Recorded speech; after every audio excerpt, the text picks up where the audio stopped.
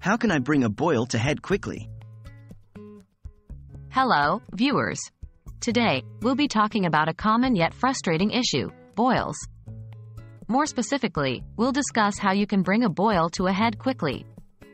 Dealing with a boil isn't the most pleasant experience, but with the right approach, you can expedite the process and get relief sooner.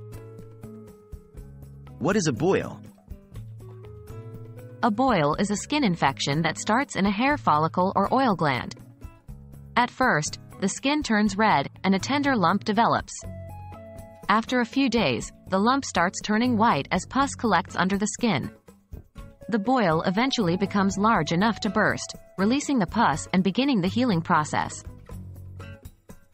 How can I bring a boil to head quickly?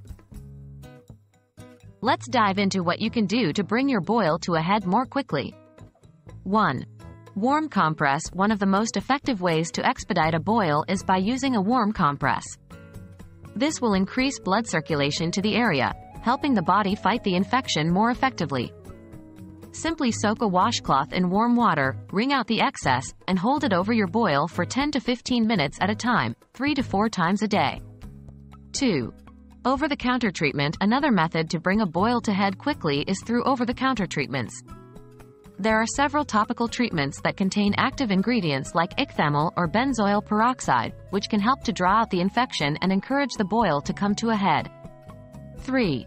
Keep the area clean and avoid picking while waiting for the boil to come to a head. It's crucial to keep the area clean and avoid picking or squeezing the boil. This can make the infection worse and delay the process. 4. Consult a healthcare professional if the boil is not improving, is causing severe pain, or is accompanied by other symptoms such as fever. You should consult a healthcare professional. In some cases, medical intervention may be necessary to treat the boil properly. That's a wrap on our quick guide to bringing a boil to a head quickly. It's important to remember that while boils are often harmless and heal on their own, they can sometimes indicate a more serious infection. So, do not hesitate to seek professional medical help if your condition doesn't improve.